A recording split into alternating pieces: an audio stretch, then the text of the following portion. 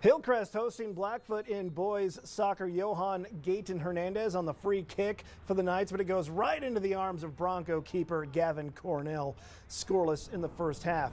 Manny Bartolo crosses it for Blackfoot. Gabe Badican sneaks in on the header, but Tyler Martin is there to knock it away for the save. Bryce Cornell with the Blackfoot throw. And check out this one. He gets some serious power behind this throw all the way to the box for Bartolo. His header is denied by another big save there from Martin. We remain scoreless late in the half. Another chance for the Broncos. Cornell and Bartolo connect again. This time the shot just goes just over the crossbar. Scoreless at the half. Frankie Garcia would score off a corner in the second half to give Blackfoot the 1 0 win.